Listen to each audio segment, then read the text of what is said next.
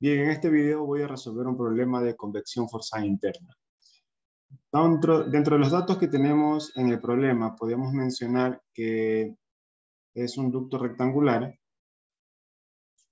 por lo tanto podríamos graficar una especie de ducto rectangular donde especifiquemos cada una de las variables que están involucradas en el problema. Queremos dejarlo algo como eso.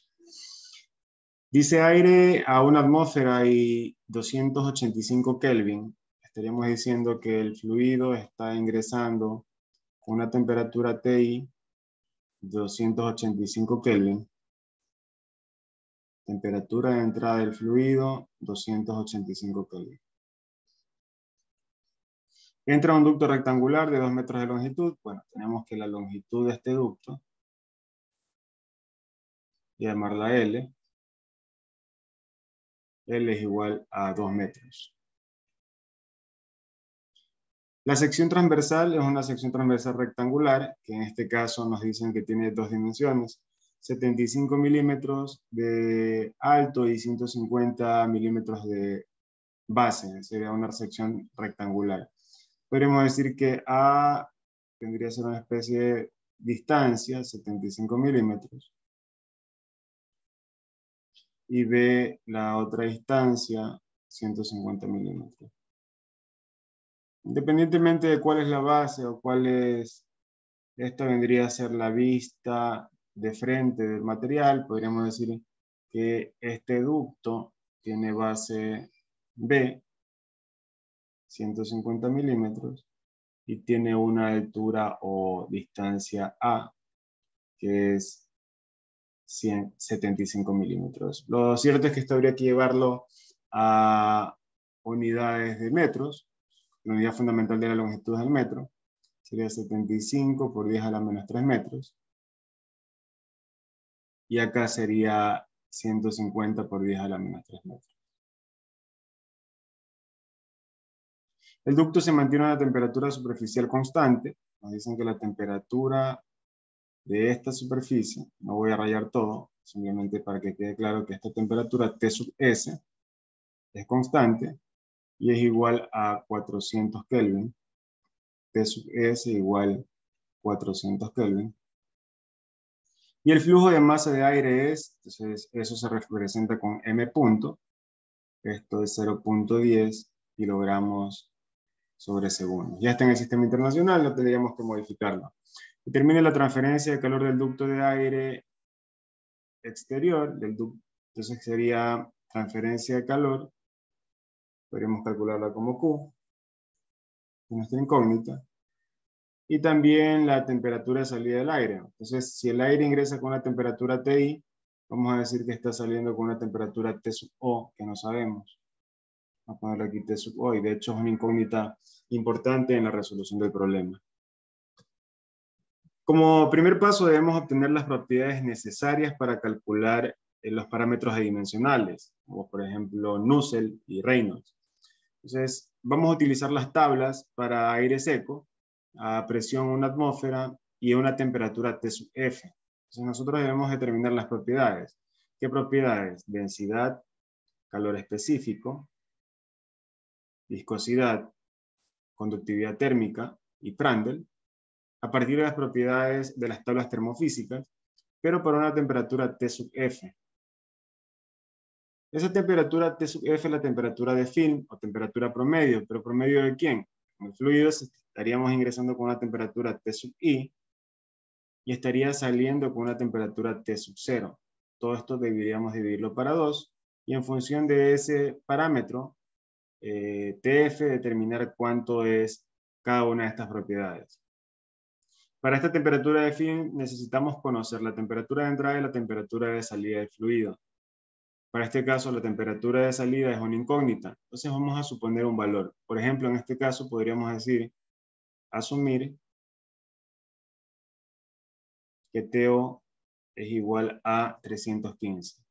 ¿Por qué vamos a asumir que es 315? Bueno, primero porque nos ayudaría un poco al cálculo de las propiedades ya que con 315 la temperatura de film nos daría un valor exacto, en este caso sería 285 eh, la temperatura de entrada, la temperatura de salida que estamos asumiendo y que obviamente luego vamos a tener que corroborar o calcular el error es 315, todo esto dividido para 2, y por lo tanto la temperatura de film que vamos a utilizar para los cálculos de las propiedades termofísicas es 300 Kelvin.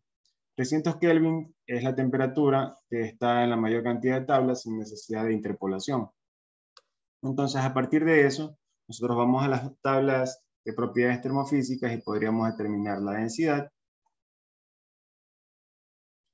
La, densidad que en este caso vendría a ser mi 1.1614. Obviamente las unidades, por todas las voy a poner en el sistema internacional. Calor específico. Para no escribir todas las unidades, simplemente ya les estoy diciendo que están en el sistema internacional. NUM 15.89 por 10 a la 6. Conductividad térmica, 26.3 por 10 a la 3. Y Prander, en el caso de ser necesario, es igual a 0.707. Recuerden que todas estas propiedades las estamos ubicando en función de la temperatura de fin. Como paso adicional al procedimiento que estamos siguiendo, se recomienda determinar el diámetro hidráulico. El diámetro hidráulico es la longitud característica cuando ustedes estén analizando conductos. Entonces, el diámetro hidráulico, que se representa con la letra D sub H, siempre la van a poder calcular como cuatro veces el área donde ocurre la transferencia del fluido o el transporte del fluido dividido por el perímetro. En este caso, el área de este objeto vendría a ser eh, A por B, de acuerdo a los datos que tenemos de base por altura, es un rectángulo, y el perímetro vendría a ser dos veces la suma de A más B. Todos los datos A y B los conocemos, y esto lo podríamos calcular, y nos queda que el diámetro hidráulico para este problema, que nos va a ayudar a determinar el número de Reynolds, es 100 milímetros o lo que es lo mismo 100 por 10 a la menos 3 metros. Como dato siguiente o como procedimiento siguiente para determinar eh, la solución que nos están pidiendo, sería importante conocer cuánto es la velocidad promedio de entrada en el fluido. Con eso calculamos Reynolds. La velocidad promedio de entrada del fluido siempre la vamos a poder calcular como la, el flujo másico dividido para la densidad y el área donde se está transportando el fluido. Eh, el flujo másico es un dato de problema, podríamos ponerlo como 0.10 directamente, ya lo reemplazamos. La densidad la podríamos calcular, ya lo tenemos como un dato de problema, 1.1614. Ya sabemos que está en unidades del sistema internacional, no tendríamos que reemplazarlo. Y el área es base por altura.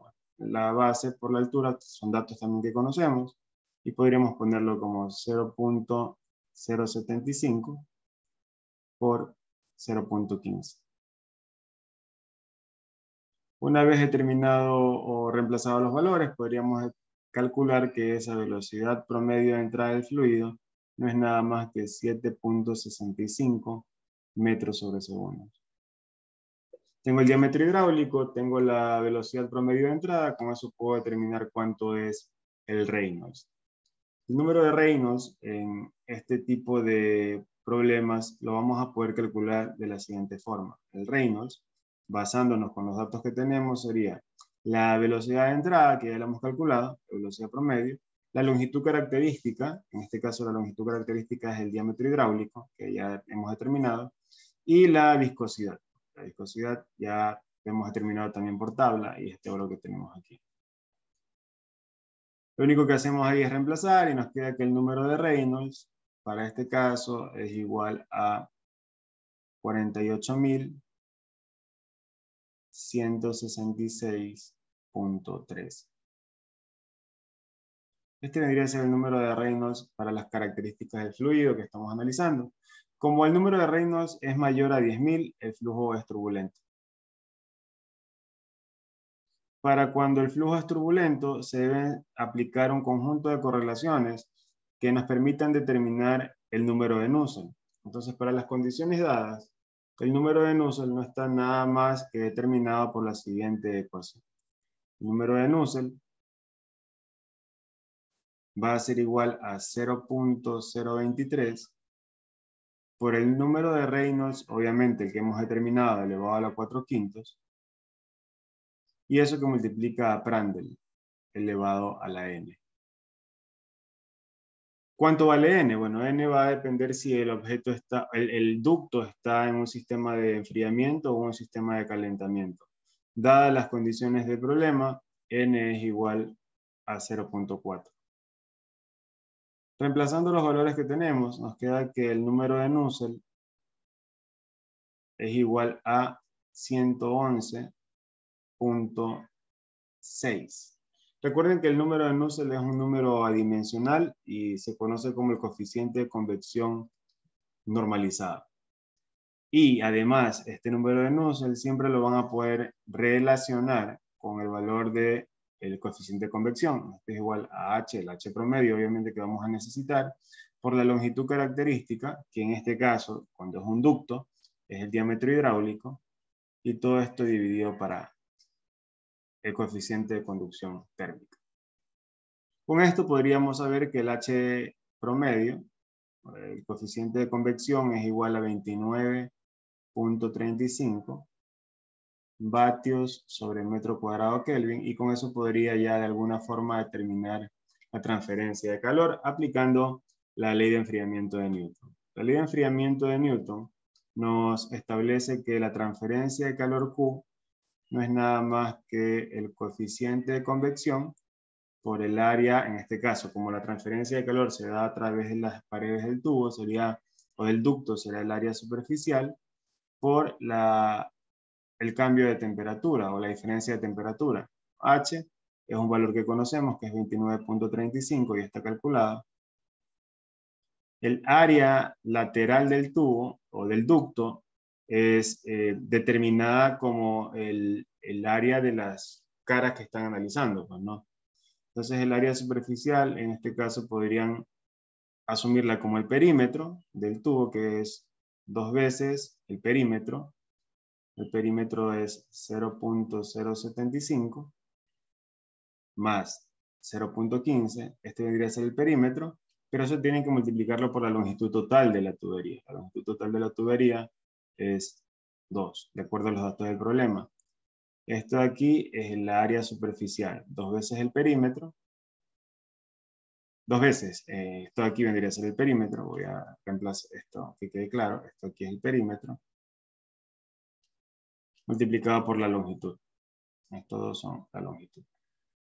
Ese es el área superficial. Y eso multiplicado por la diferencia de temperaturas. Pero ¿qué temperaturas debes considerar en este problema? Sería la temperatura la superficie menos la temperatura de film o la temperatura promedio. Eso es un parámetro importante a considerar.